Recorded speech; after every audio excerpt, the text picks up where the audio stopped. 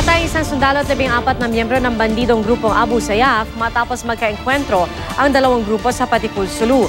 Ayon sa impormasyon mula sa 2nd Marine Brigade, sumugod ang Abu Sayyaf kahapon matapos magkupkup ng militar ang kanilang kampo noong lunes.